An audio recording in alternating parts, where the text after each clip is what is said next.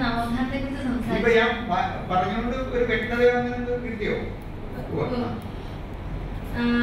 ഞാൻ ശ്രീനാരായണ ഗുരുവിന്റെ കാര്യം അദ്ദേഹം പറഞ്ഞിട്ടുണ്ട് ഒരു ജാതി ഒരു മതം ഒരു ദൈവം മനുഷ്യനാണ്. അദ്ദേഹത്തിന്റെ ശിഷ്യൻ തന്നെ സഹോദരൻ അയ്യപ്പ പറഞ്ഞിട്ടുണ്ട് ജാതി വേണ്ട മതം വേണ്ട ദൈവം വേണ്ട മനുഷ്യന് വേണം ധർമ്മം വേണം ധർമ്മം വേണം ധർമ്മം യോജിതം ഇത് കേട്ട ഉടനെ തന്നെ ഗുരുവിന്റെ അടുത്ത് ചെന്ന് മറ്റ് ശിഷ്യന്മാരെ പരാതി പറഞ്ഞു.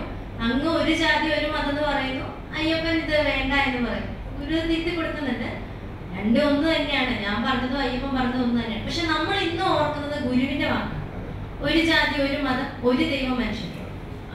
ആ സ്ഥാനത്ത് നമ്മൾ അയ്യപ്പൻ പറഞ്ഞ കാര്യം നമ്മൾ ഓർക്കാറേ അല്ലെങ്കിൽ അത് അംഗീകരിക്കാനുള്ള ഒരു ബുദ്ധിമുട്ടുണ്ട് നമുക്ക്. അവിടെ നമ്മുടെ ഉള്ളിലെ പ്രശ്നം എന്ന് വെച്ചാൽ ജാതിയും മതവും ഉപേക്ഷിക്കാനുള്ള ഒരു വല്ലാത്തൊരു വിഷമം നമുക്കുണ്ട്. പക്ഷെ ഗുരു പറഞ്ഞിടത്ത് ജാതി മതം ഉള്ളത് കൊണ്ടാണ് നമ്മളത് സ്വീകരിക്കുന്നത്. ഈ ഗുരുവിന്റെ തന്നെ മതം ഏതായാലും മനുഷ്യൻ നന്നാ നന്നായാൽ മതി എന്ന് പറഞ്ഞാൽ നമ്മൾ ഇങ്ങനെ പാടിക്കൊണ്ട് നടക്കുന്നുണ്ട് എങ്കിൽ കൂടി അതിലും ഗുരു പറഞ്ഞൊരു ഉദാസീനതയുണ്ട്. മതം ഏതായാലും ആ മതത്തിനോടുള്ള ഒരു ഉദാസീനത മനുഷ്യനാണ് പ്രാധാന്യം. എങ്കിൽ കൂടി നമ്മുടെ സമുദായങ്ങൾ ഇങ്ങനെ കൂട്ടിപ്പിടിക്കുന്നു. ഇപ്പോഴും മതത്തിന് വേണ്ടി പോരാടുന്നു ഒരു പ്രത്യേക മതവിഭാഗത്തെ ഒഴിവാക്കുന്നു. ആ നിലയ്ക്ക് വെച്ച് നോക്കുമ്പോൾ ഇതിനു മുമ്പുണ്ടായിരുന്ന ക്ഷേത്രപ്രവേശനമായാലും ഗുരുവായൂർ സത്യാഗ്രഹം വൈദ്യ സത്യാഗ്രഹം മുതലായ എല്ലാ നവോത്ഥാന മുന്നേറ്റങ്ങളും. ഒരു പരിധിവരെ മതത്തെ നം- മതത്തോട് നമ്മൾ കൂടുതൽ അടുക്കുകയല്ലേ ചെയ്യുന്നത്. ഇപ്പൊ ഈ ശബരിമല വിഷയം റീസെന്റ് നമ്മൾ ശബരിമല വിഷയം കാണുമ്പോഴും അങ്ങോട്ടേക്ക് ആരും പോകണ്ട എന്ന് പറയേണ്ട ഒരു സ്ഥലത്ത് നിന്നുകൊണ്ട് ഇനിയും നമ്മൾ മതത്തോട് ഇങ്ങനെ കൂട്ടിച്ചേർക്കുകയല്ലേ ചേർക്കുകയൊക്കെ ചെയ്യുന്നത്?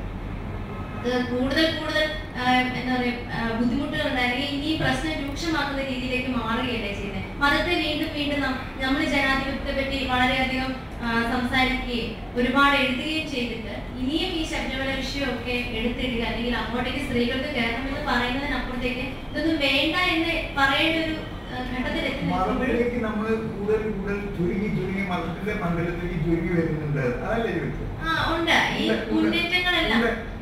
അങ്ങനെ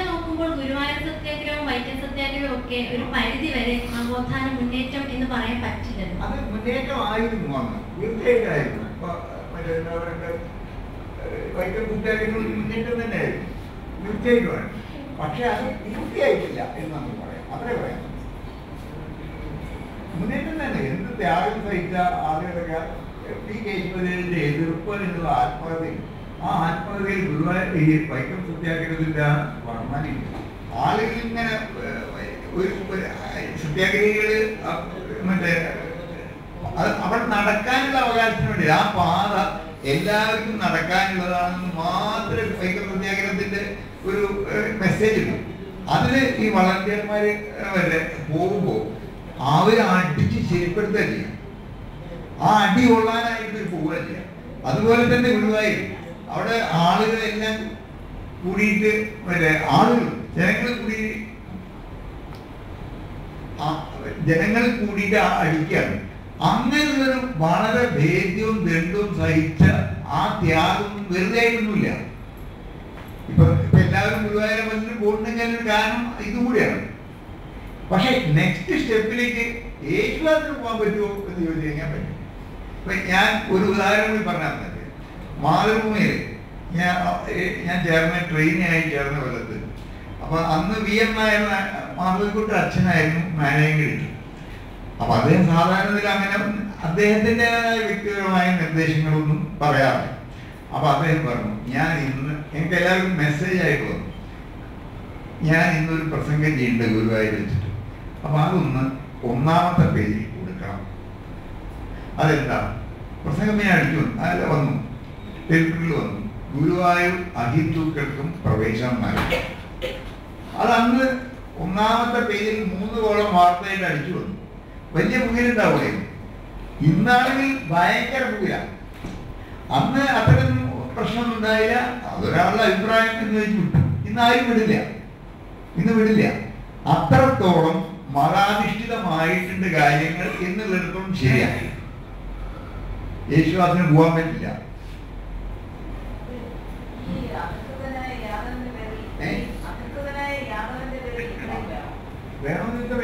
പറയുള്ളൂ വേണമെന്ന് പറയുന്നവരുണ്ട്. അവരോട് പറയണം വേണ്ട.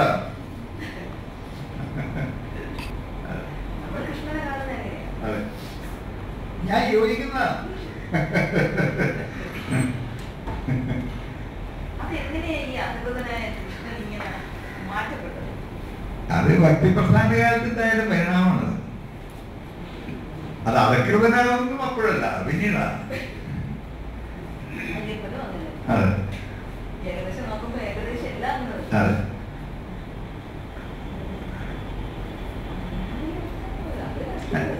ക- കനകലത സംസാരിക്കുന്നു. ടീച്ചർ സംസാരിക്കുന്ന ആളാണ്. ഞാൻ സംസാരിച്ചാലേ ആ, ഏറിപ്പോവും. പ്രത്യയശാസ്ത്രപരമായിട്ടുള്ളൊരു ഒരു പ്രതിഷേധം ആ ആ കാലഘട്ടം ഉണ്ടായിരുന്നു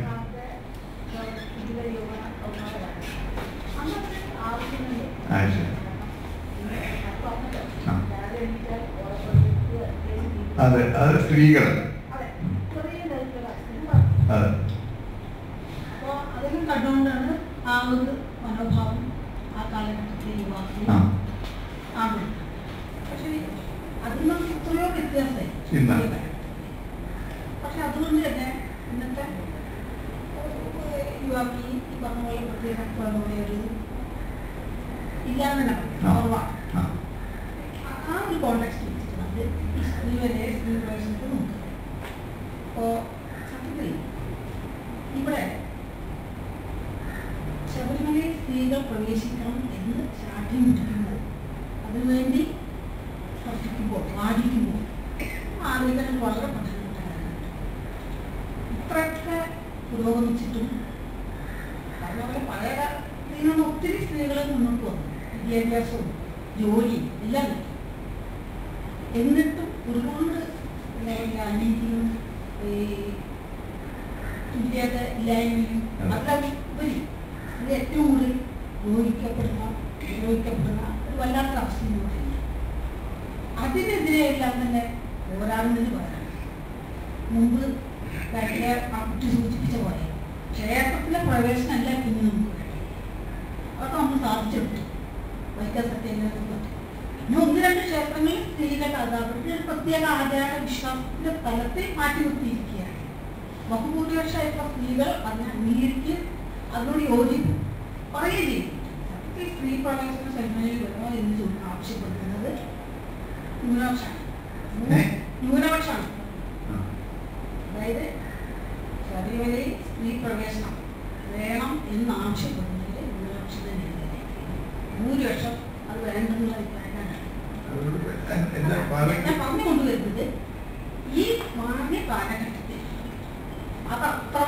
ആവശ്യമായിട്ടുള്ള കാരണം നമ്മൾ ക്ഷേത്രങ്ങളിൽ പ്രവേശനമൊക്കെ നൽകി കഴിഞ്ഞു എന്ന് മറ്റേ ഗുരുവായൂർ കൊണ്ടൊക്കെ അത് അന്യജാതി മതസ്ഥരൊക്കെ തന്നെ തുല്യമായിട്ട് പോകുന്നുണ്ട് സ്ത്രീ പുരുഷ ഭേദമന്യേ ബഹുഭൂരിഷ അമ്പലങ്ങളിൽ പ്രവേശിക്കുന്നുണ്ട്. ഒന്നോ രണ്ടോ അമ്പലങ്ങളാണ് ഇങ്ങനെ ഒരു എക്സെപ്ഷൻ കേസിലുള്ളത് ആയുർവേദ അമ്പലങ്ങൾ സ്ത്രീകൾക്ക് മാത്രമായിട്ട് ഒരു പ്രത്യേക സമയത്ത്. അപ്പോൾ ഇത് വളരെ വളരെ കുറഞ്ഞ് ഇതിൽ പ്രവേശിച്ച് നമുക്ക് നവോത്ഥാനം നേടണം എന്ന് പറയുന്നത് ഏതോ ചില സാധ്യങ്ങളായിട്ടാണ് എനിക്ക് തോന്നുന്നത്. അതിനേക്കാൾ ഉപരി സ്ത്രീ പിന്തള്ളപ്പെടുന്ന സ്ത്രീനീതി ഇല്ലാത്ത സ്ത്രീ അതായത് ഈ പരിഷ്കൃത ലോകത്തിൽ വെച്ചു പ്രവർത്തിക്കാൻ പറ്റാത്ത രീതിയിൽ സ്ത്രീയോട് ഏറ്റവും അമാന്യമായി പെരുമാറുന്ന ഏറ്റവും അങ്ങേയറ്റം ഉള്ള എന്താ പറയുക പ്രവർത്തിക്കുന്ന ഒരു വിശേഷം ഈ പരിഷ്കൃത കേരളീയ സമൂഹത്തിൽ വളരെ സജീവമായി നിലനിൽക്കുന്നുണ്ട്. അതിനെതിരെയാണ് ഒരു മുന്നേറ്റം വേണ്ടത്. അല്ലാതെ രണ്ടോ കുഞ്ഞിൽ കൂടി സ്ത്രീ പ്രവേശിച്ചിട്ട് നവോത്ഥാനം അതാണ് നവോത്ഥാനം പറഞ്ഞ് ശരിക്കുന്നത്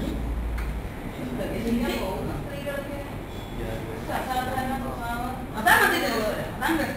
പിന്നെ ഒന്നാമത്തെ കാര്യം ശബരിമലയിൽ പോകേണ്ട വിശ്വാസികളാണ്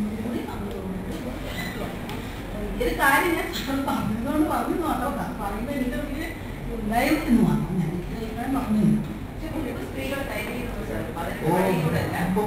ഞങ്ങളുടെ ഫാമിലിയിൽ. ചോറ്.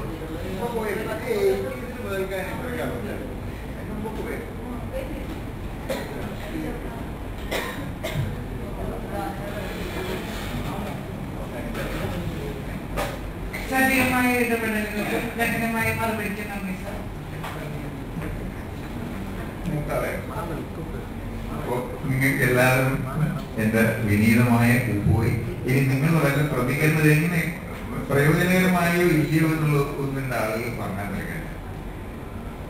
ഒരാൾ ഒരു സെന്റൻസിൽ നിങ്ങൾ എന്താണെന്ന് മനസ്സിലാക്കിയത് വല്ലതും മനസ്സിലാക്കി. മനസ്സിലാക്കിയില്ലെങ്കിൽ ഒന്നും വേണ്ട. മനസ്സിലാക്കി വല്ലതും ഉണ്ടെങ്കിൽ അതൊന്നും പറഞ്ഞാൽ കഴിയും. ഒരാൾ നിങ്ങൾ മനസ്സിലാക്കി ഒരു കാര്യം ഒരു സെന്റൻസിൽ പറയും. ആ. എന്തെങ്കിലും മനസ്സിലായിരിക്കും വാല്യൂബിൾ ആയിട്ട്. ഇല്ലെങ്കിൽ ഇല്ല എന്ന് പറഞ്ഞു. അല്ല ഇല്ലെങ്കിൽ ഉണ്ടായിരുന്നോ? ഇത് ഫീഡ്ബാക്ക് ഇടാം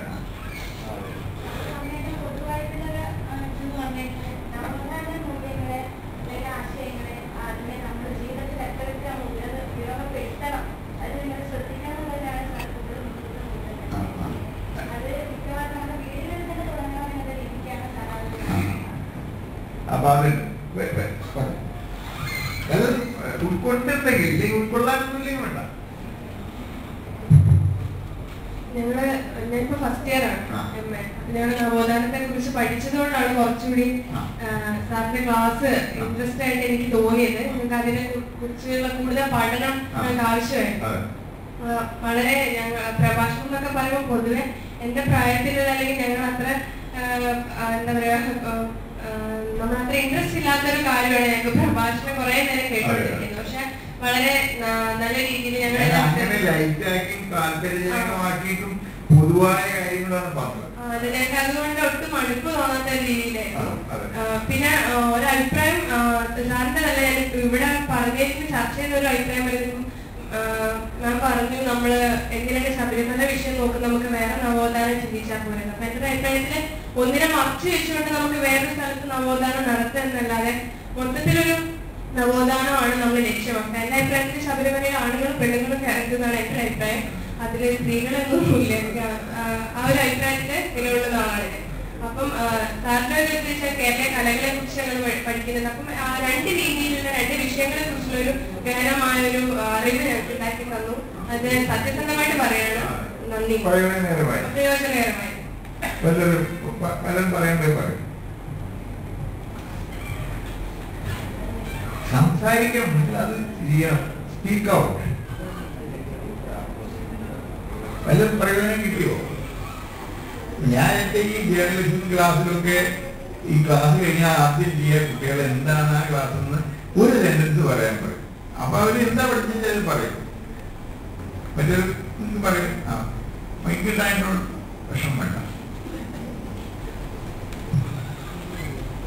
ലജ്ജയൊക്കെ മാറട്ടെ. ആ. സാധാരണ പ്രഭാഷണത്തോടെ ഭയങ്കര മടുപ്പാണ് വന്നിരിക്കുന്നത്. ഏറ്റവും ലളിതമായ രീതിയിൽ. ഏറ്റവും മനോഹരമായി തന്നെയാണ് സാറ് പറഞ്ഞു തന്നത്. വളരെയധികം ഉപകാരപ്രദമായി. പിന്നെ ഏറ്റവും ഉപകാരപ്രദമായ ഒരു കാര്യം പറയാം ന- നവോത്ഥാനം എന്നൊക്കെ പറയുമ്പോൾ നമ്മൾ വാക്കുകളിൽ ഒതുക്കുന്ന കാര്യങ്ങളാണ്. എനിക്ക് പറയാനുള്ളത് പ്രവൃത്തിയിലൂടെയാണ് നമ്മളത് കൊണ്ടുവരേണ്ടത് വാക്കുകളിൽ മാത്രം ഒതുക്കിയിട്ട് അതിനൊരു കാര്യമില്ല. അറിഞ്ഞു വെക്കുന്നതിനപ്പുറം അത് കൂടുതൽ മറ്റുള്ളവരിലേക്ക് എത്താനാണ് ശ്രമിക്കുന്നത് സാറിന് ശബരിമല ഇഷ്യൂ എടുക്കുകയാണെങ്കിൽ അപ്പം ഒരു പെണ്ണ് ഇങ്ങനെ പറയും എനിക്ക് കയറാൻ പറ്റും. അല്ലെങ്കിൽ ഞാൻ പോകും. എന്നൊക്കെ ഇങ്ങനെ പോകുന്ന രീതിയിൽ ഇങ്ങനെ വിളിച്ചു പറയാനായിട്ട് സാധിക്കും. മാറി നിന്നുകൊണ്ട് അതിനെ കുറ്റം പറയാനും എനിക്ക് വിശ്വാസത്തെ ഉയർത്തി കാണിക്കാനും ശ്രമിക്കുന്ന കുറെ പേരുണ്ട്. അതല്ല ആവശ്യം. പറയുന്നതിനപ്പുറം തന്നെ അത് തപ്പിച്ച് കാണിക്കാനുള്ള ഒരു മനസ്സുകൂടെ ആൾക്കാരിൽ ഉണ്ടാകുമെന്നാണ് എനിക്ക് പറയാനുള്ളത്. സാറിന്റെ ക്ലാസ് വളരെ ഉപകാരപ്രദമായിട്ടുണ്ട്. താങ്ക് താങ്ക് താങ്ക് സംസാരിക്കാത്ത ആളുകൾക്ക് മൈ- മൈക്ക് കൊടുക്കും ഏ ഹൃദയത്തിരിക്കുന്ന ആദ്യം ചെയ്താൽ കൂടി അതാ അമ്പലങ്ങൾ സ്വത്താണ് ആ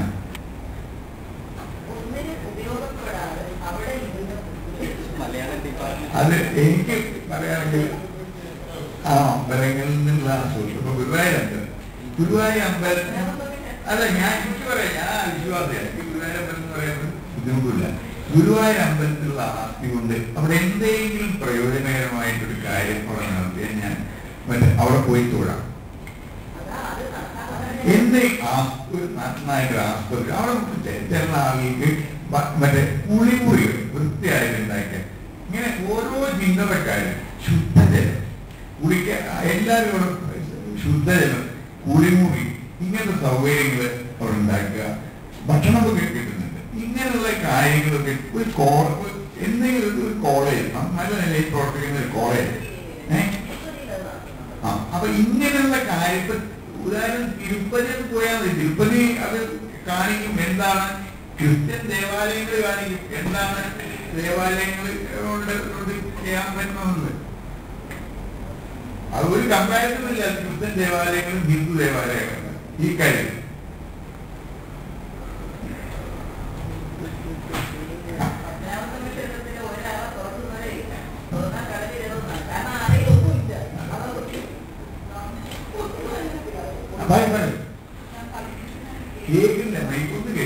ഇവിടെ വന്നു ഇവിടെ വന്നു നാണിക്കാതെ ഒരു മോളെ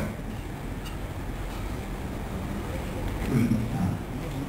ഞാൻ പകുതിക്കുന്ന ആൾക്കാരുണ്ട് ഏ ഞാൻ പകുതിക്കുന്ന ആൾക്കാരുണ്ട് ഇത് ഇത് വെക്കാം. ഞാൻ പകുതിക്കുന്ന ആൾക്കാരുണ്ട് ഞാൻ കേട്ടോടും എനിക്ക് മനസ്സിലായത് ആയിരത്തി തൊള്ളായിരത്തി നാൽപ്പത്തി ഏഴിൽ സ്വാതന്ത്ര്യം കിട്ടി പക്ഷെ സ്വാതന്ത്ര്യം കിട്ടിയെന്ന് കിട്ടിയെന്നുള്ള പക്ഷി മാത്രമേ ഉണ്ടായിട്ടുള്ളൂ ഇപ്പൊ ഇത്രയും നവോത്ഥാനങ്ങളും കാര്യങ്ങളൊക്കെ വന്നു നവോത്ഥാന നവോത്ഥാന നായകന്മാരുണ്ടായി ഒരുപാട് സംഭവങ്ങൾ ക്ഷേത്രപ്രവേശനം അങ്ങനെ ഒരുപാട് സംഭവങ്ങൾ ഉണ്ടായി ഇതൊക്കെ ഉണ്ടായിട്ടും ഇന്ന് സ്ത്രീകളോട് ശബരിമല ശബരിമലയിൽ കയറരുതെന്ന് പറഞ്ഞിട്ടുണ്ടെങ്കിൽ സ്ത്രീക്ക് സ്വാതന്ത്ര്യം ഇല്ലാത്തത് കൊണ്ട് തന്നെയാണ് ആ പറയുന്നത്. ഒരു ഒരാൾക്ക് സ്വാതന്ത്ര്യം കിട്ടിയിട്ടില്ലെങ്കിൽ ഇന്ത്യയ്ക്ക് മൊത്തമായിട്ട് സ്വാതന്ത്ര്യം കിട്ടിയിട്ടുണ്ട് ഒരിക്കലും അങ്ങനെ പറയില്ല. എല്ലാവർക്കും സ്വാതന്ത്ര്യം തുല്യ സ്വാതന്ത്ര്യം തുല്യ നീതിയും എല്ലാം ഉണ്ടെന്നുള്ള പക്ഷി മാത്രമുള്ളൂ ഒന്നും ഇതുപോലെ നടന്നിട്ടുള്ള കാര്യം സാറിന്റെ ക്ലാസ്സിനോട് പിന്നെ നവോദാന സ്വാതന്ത്ര്യം കിട്ടിയിട്ടൊക്കെ വെറും വാക്കുകളിൽ മാത്രം ഒതുക്കി നിർത്താൻ ഇത് മനുഷ്യൻ? മനുഷ്യനെയാണ് ഇനി മാറേണ്ടത്. ഒരുപാട് കളിക്കുന്നത് അതാണ് എനിക്ക് തോന്നുന്നത്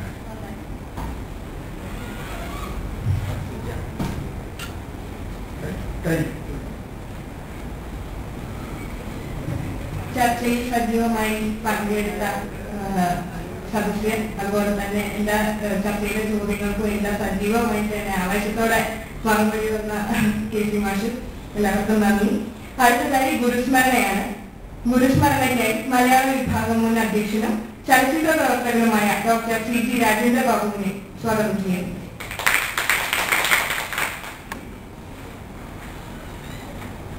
ഈ ഹാളിൽ ഇപ്പൊ ഈ കെ സി നടന്നു നിൽക്കുക ഞാൻ ഇന്നലെ പറഞ്ഞില്ലേ? കെ സി വളരെ നല്ലൊരു അധ്യാപകൻ ആണ് എന്ന് നമ്മുടെ യൂണിവേഴ്സിറ്റി ഡിപ്പാർട്ട്മെന്റിൽ തന്നെ തെളിയിച്ചിട്ടുള്ളതാണ്. ആ- ഒരു അധ്യാപകന്റെ ഒരു ഈ പ്രഭാഷകൻ അധ്യാപകൻ രണ്ടിനല്ല പക്ഷേ ഞങ്ങളുടെ ഈ കുട്ടികളുമായിട്ടുള്ള ഇന്ററാക്ഷൻസിന് ഇത്രയധികം പ്രാധാന്യം കൊടുക്കും. നന്നായി താരതമ്യേന സംസാരിക്കാത്ത കുട്ടികളെയൊക്കെ സംസാരിപ്പിച്ചു അത് വലിയ കാര്യം. ഞാൻ ഗിരീഷിനോട് ഒരു നിർദ്ദേശം പറഞ്ഞാറുള്ളത് ഈ എൻഡോമെന്റ് പ്രഭാഷണമാണ് ഏറ്റവും പ്രധാനപ്പെട്ടത്. അത് ഈ ആദ്യം ഈ ഗുരുസ്മരണ ഇതൊക്കെ നടത്തിയിട്ട് കാരണം ഈ വേറൊരു മാനസിക തലത്തിൽ ഒരു വലിയ പ്രഭാഷണത്തിന്റെ ഒരു മാനസിക തലം അതുണ്ടാക്കിയ ചർച്ചയുടെയും ഒക്കെ ഒരു അന്തരീക്ഷത്തിലേക്ക് എസ് കെ നായർ സാറിനെയും പ്രഭാകരവാരൻ സാറിനെയും ഒക്കെ വീണ്ടും കടത്തിക്കൊണ്ട് വരുന്ന വരുമ്പോൾ ഈ ഇവിടെ കേൾക്കുന്ന ആളുകളുടെ ഈ മനസ്സിന്റെ ഈ അല്ലേ ഒരു അത് ശ്രദ്ധിക്കേണ്ട ഒരു കാര്യമാണ്. ഓരോ ഉച്ചയ്ക്ക് ശേഷമുള്ളത് സ്മരണകളൊക്കെ നമുക്ക് ആദ്യം. അപ്പൊ വളരെ കാരണം പ്രധാന പ്രഭാഷണത്തിന് വേണ്ടി നമുക്ക് സമയം കാത്തിരിക്കുകയാണ്. എനിക്ക് വളരെ പിന്നെ എന്താ സ്മരണ എന്ന് പറഞ്ഞ ഞാൻ എസ് കെ നായർ സാറുമായിട്ട് വളരെ വളരെ അടുപ്പം ഉണ്ടായിരുന്ന ഒരാളാണ്. ഈ പുതിയ തലമുറയിൽപ്പെട്ട കുട്ടികൾക്ക് അറിയില്ല. അല്ലെങ്കിൽ ഒരു ഉദാഹരണത്തെ പറ്റി അറിയില്ല. അങ്ങനെ ഒരു വലിയ അദ്ദേഹത്തിന്റെ ക്ലാസ്സുകളെ പറ്റി നിങ്ങൾക്കൊന്നും അറിയില്ല. അപ്പൊ നിങ്ങളോട് രണ്ടു വാക്ക് അതിനെ പറ്റിയൊക്കെ പറയുന്നത് ഈ ഒരു അധ്യാപകൻ എങ്ങനെയായിരിക്കും ഒരു ഗുരു എങ്ങനെയായിരിക്കണം എന്നൊക്കെ ഉള്ളതിന്റെ കെ സി സൂചിപ്പിച്ചതുപോലെ ക്ലാസ് റൂമുകളെ പറഞ്ഞതുപോലെ എനിക്ക് തന്നെ സൂചിപ്പിക്കാൻ എനിക്ക് വളരെ വളരെ വളരെ സെക്കുലർ ആയിട്ടുള്ള ഒരാളായിരുന്നു എസ് കെ നായർ. എല്ലാവരും വിട്ടു പറയുന്ന ഒരു കാര്യമാണ് വളരെ സെക്കുലർ ആയിട്ടുള്ള അദ്ദേഹത്തെ കണ്ടാൽ അദ്ദേഹം ഒരു ആഖ്യ നായകൻ? ആ നടപ്പും ആ കുതിര പോലുള്ള ആ ഒരു ഇതും എല്ലാം ആ ആഖ്യത്വം വളരെ കൂടുതലുണ്ടായിരുന്നു പക്ഷേ സ്വഭാവത്തിൽ പെരുമാറ്റത്തിൽ ആളുകളുമായിട്ടുള്ള ഇടപെടലുകളിൽ അങ്ങനെയുള്ള ആഖ്യത്വത്തിന്റെ മുദ്രകൾ ഒന്നും ഒരാളായിരുന്നു ഈ അദ്ദേഹത്തിന്റെ സുഹൃത്തുക്കളെയും പിന്നെ ഗിരീഷ് സാധ്യത സൂചിപ്പിച്ചില്ലേ? ഈ വലയത്തിൽ അദ്ദേഹം സ്വന്തം പ്രതിഭ പോലും പലപ്പോഴും തേച്ച് നിമിക്കാൻ ശ്രമിക്കാത്ത ഒരാളായിരുന്നു എസ് കെ എന്ന് പറയുമ്പോൾ ആ സുഹൃത്തുക്കളെയും വളരെ വലുതായിരുന്നു. ആ സുഹൃത്ത് ഈ പിന്നെ ആ, ഹിന്ദുക്കളോട് മാത്രമായിരുന്നില്ല. എനിക്കല്ലേ ഞാൻ വളരെ രസകരമായിട്ട് കൊടുക്കുന്ന ഒരു കാര്യം. അദ്ദേഹത്തിന്റെ വീട്ടിലെ നിത്യമായ ഒരു സന്ദർശനം കൊണ്ടോട്ടി തന്നെ കൊണ്ടോട്ടി തങ്ങൾ കേസ് കേൾക്കൊണ്ടുണ്ട് കൊണ്ടോട്ടി തങ്ങൾ എന്ന് പറയുന്നത് ഒരു വലിയ ദുർമന്ത്രവാദങ്ങളും ഒക്കെ ചെയ്യുന്ന ഒരു മുസ്ലിമാണ്. ആ കാലഘട്ടത്തിൽ കൊണ്ടോട്ടി തങ്ങൾ എന്ന് പറഞ്ഞാൽ ഈ ചുട്ടകോഴിയെ പുറപ്പിക്കുക മുട്ടയിലൊക്കെ ചില പ്രയോഗങ്ങൾ ചെയ്ത് ഒരാളിനെ കൊല്ലാനൊക്കെ തീരുമാനിച്ചു കഴിഞ്ഞാൽ കൊണ്ടുപോയി തന്നെ കൊണ്ടിരിക്കുക കൊണ്ടിരിക്കുമെന്നാണ് അനുഭവത്തിൽ പറയുന്നത്. അങ്ങനെയുള്ള ആളുകൾ അതുപോലെ കോട്ടയത്തുള്ള ഒരു ജോർജ് എന്ന് പറയും ഞാൻ എപ്പോഴും അദ്ദേഹത്തിന്റെ വീട്ടിൽ കാണുന്ന ഒരാൾ ജോർജ് എന്ന് പറയും അദ്ദേഹം അദ്ദേഹത്തിന്റെ മക്കൾ.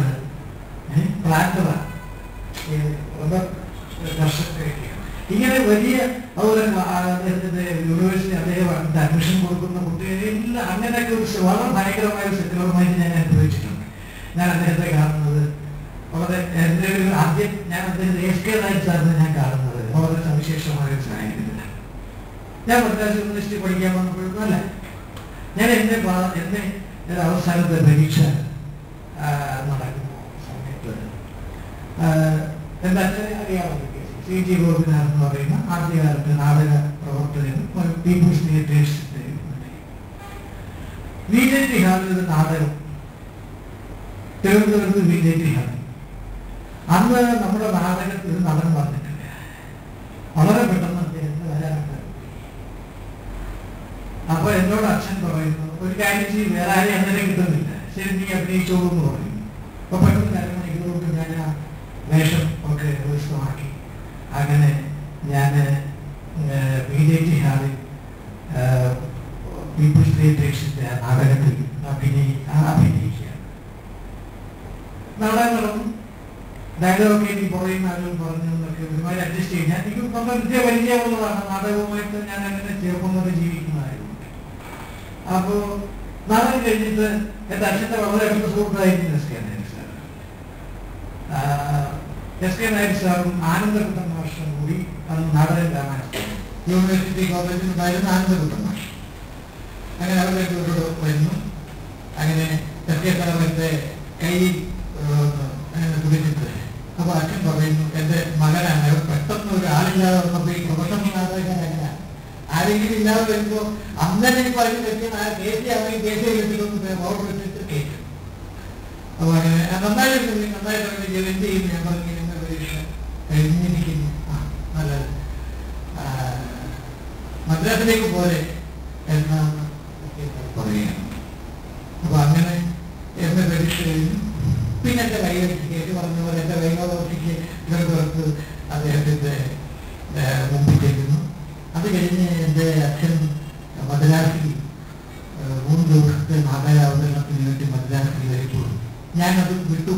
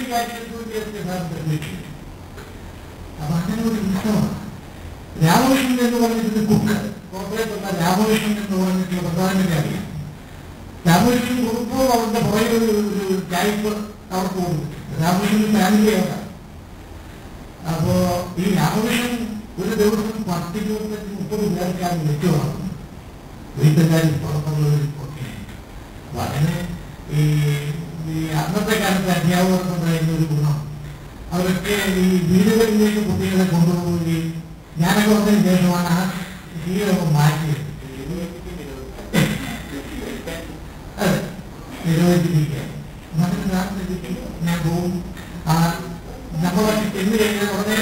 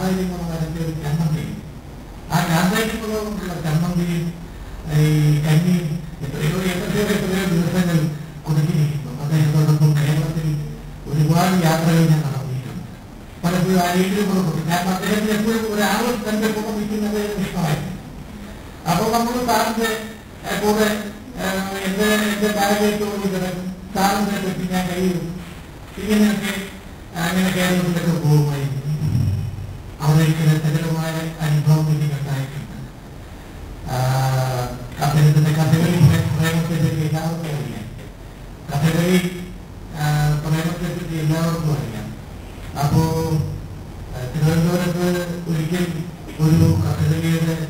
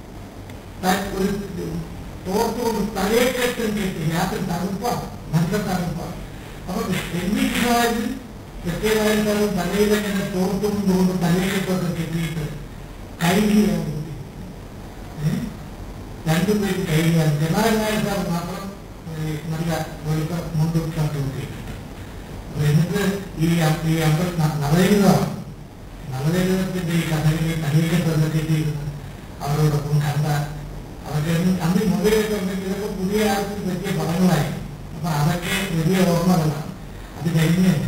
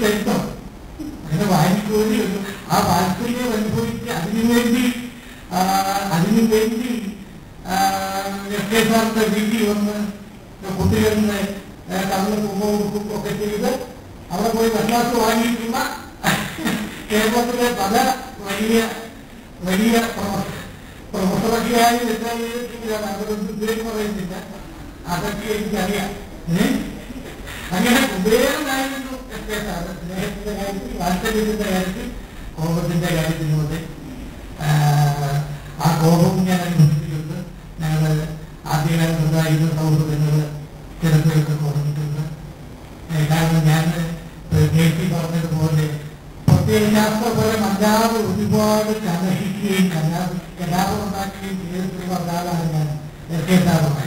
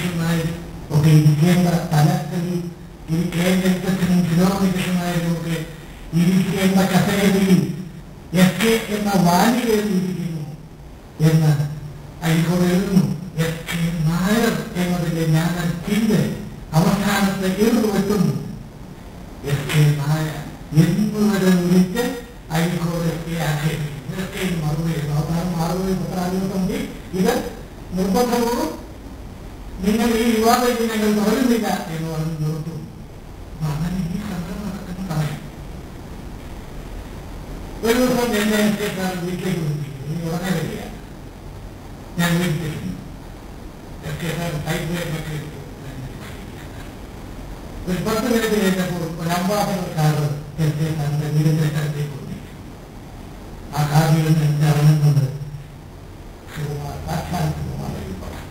ഈ കമല കൊടുങ്കുളിക്കൊണ്ടിരിക്കുന്ന സമയം പെട്ടെന്ന് തന്നെ എസ് കെ സാർ ഞാൻ പത്രത്തിൽ കഴിഞ്ഞത് വേറെയാണ്. എസ് കെ സാർ പുറത്തേക്ക് ഓടിയാണ്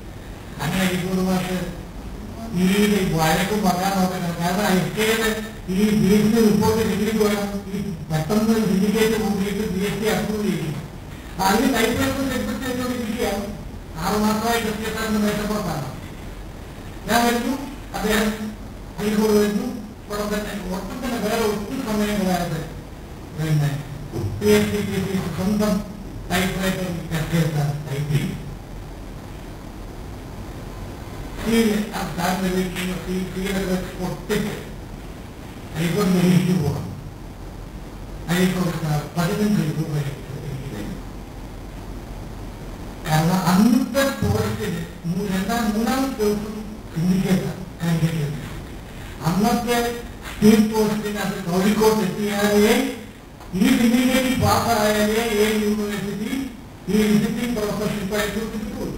ఆయన పదవి ఆటోషిప్ చేస్తూ నా పక్కన ఆటోషిప్ చేస్తూ మౌండ్రోడ్ జీటీఓ పోస్ట్ ఆయన పోస్ట్ మూడవ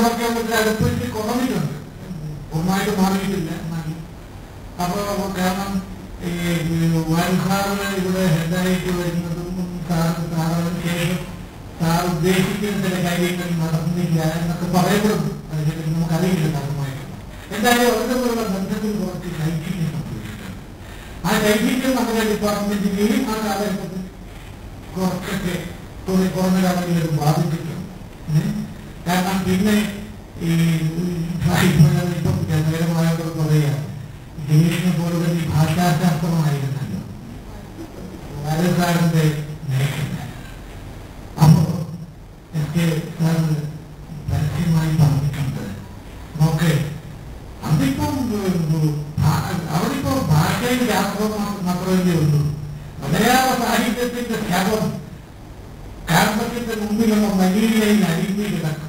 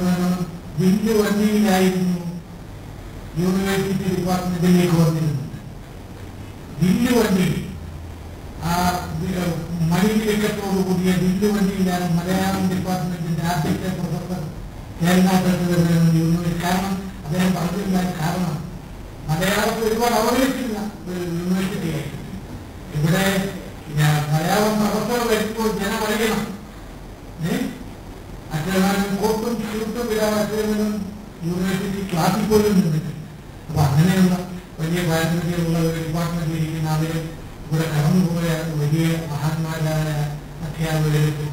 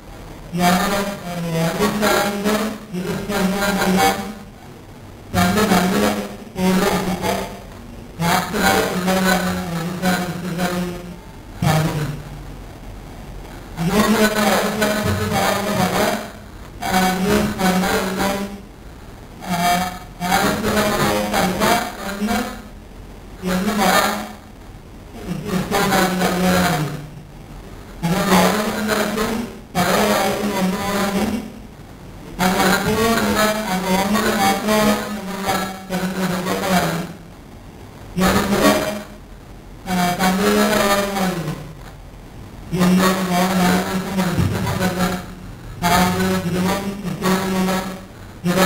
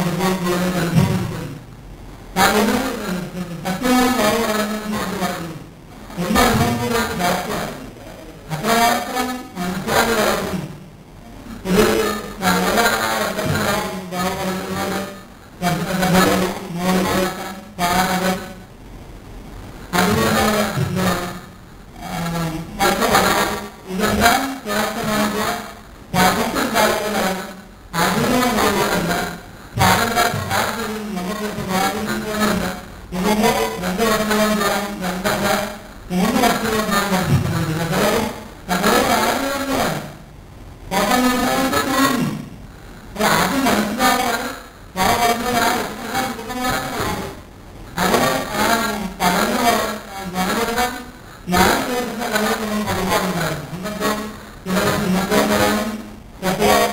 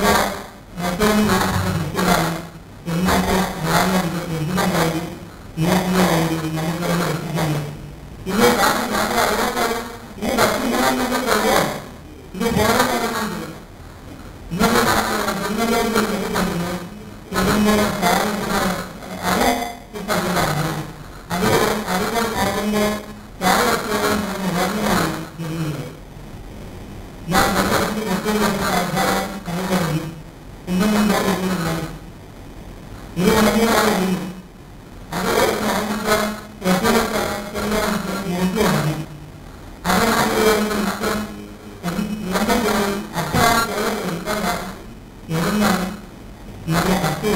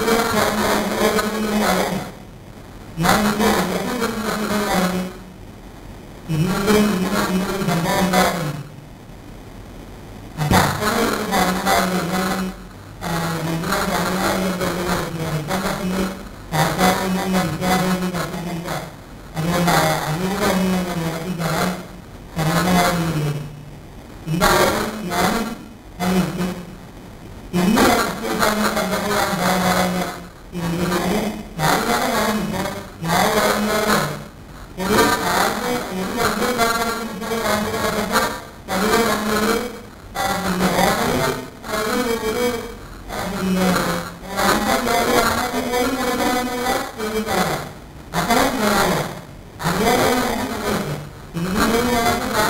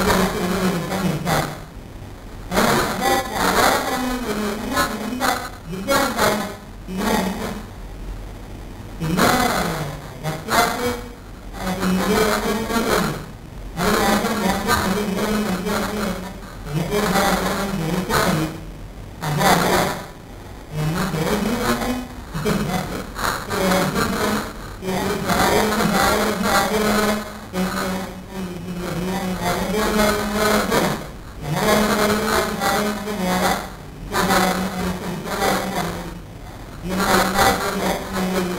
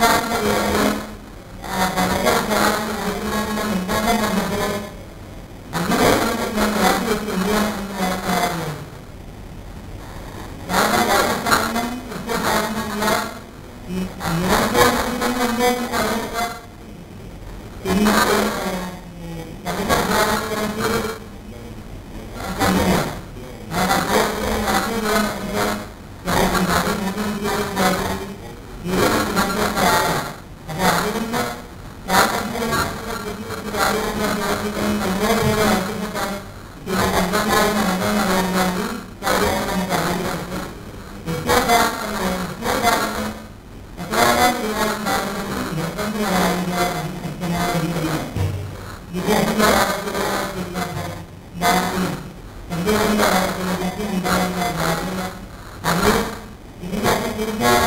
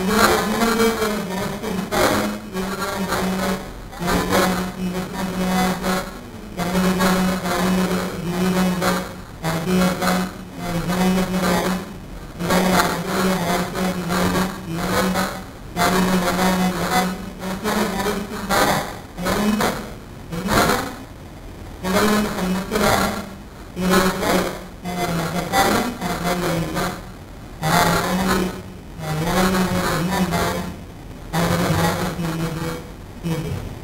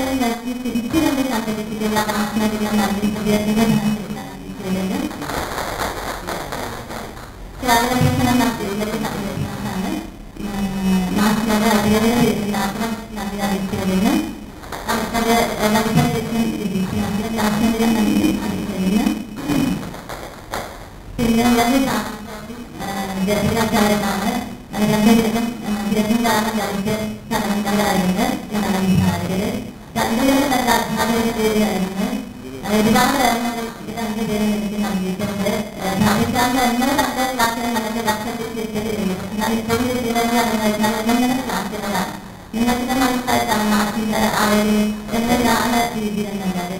അപ്പം നമ്മൾ ചെറുതായിട്ട്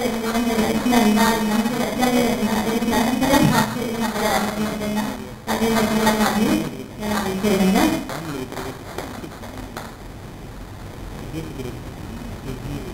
ഇന്നലത്തെ നമ്മുടെ വിവരങ്ങൾ സദസ്യരാണ് മാധ്യമങ്ങൾ അറിയിച്ചിരിക്കുന്നതാണ് അതുപോലെ തന്നെ എന്റെ തലത്തിലെ മകൻ നമിച്ചാറ് ആദ്യം ഉണ്ടായിരുന്നത് പരിപാടി നടന്നുകൊണ്ടിരിക്കുന്നത് ഇങ്ങനെ പല കാര്യങ്ങളാണ് അതിലൊരു അവർ നദികളും ഞാൻ കാലം നടത്തിയിട്ടുണ്ടായിരുന്നില്ല ആരോഗ്യ കാരണം ഇത്തരാണ് കാണിച്ചത് ചേർന്ന് നടന്ന കാര്യങ്ങൾ അങ്ങനെ അത് എടുത്ത് ആദ്യം പ്രതികരണം പ്രതീക്ഷിക്കുന്നുണ്ടായിരുന്നത് ഇത്തരം കിട്ടാത്തതിന്റെ ഓരോ കാര്യങ്ങളും അതിൽ നാളുകളെല്ലാം തിരിച്ചുകൊണ്ടിരിക്കുകയാണ് കാരണം നന്ദി ആവശ്യപ്പെടുന്നു പിന്നീട് കിട്ടാത്തതിന്റെ നടക്കുന്ന സാമൂഹിക അതുപോലെ തന്നെ ഈ കിട്ടാത്തതിന്റെ അനുസരിച്ചായിട്ടുള്ള സാമൂഹിക നന്ദി അറിയിക്കുകയാണ് සතිය මත අත්‍යන්ත යන්නේ යන්නේ දෙන්නත් අත්‍ය දෙවියන් අදාළ ගන්න දෙන්න කතාවේ නම් ආයෙත් දෙන්න දෙවියන් අනිත් දෙන්න සම්පූර්ණ කරලා අන්තිමට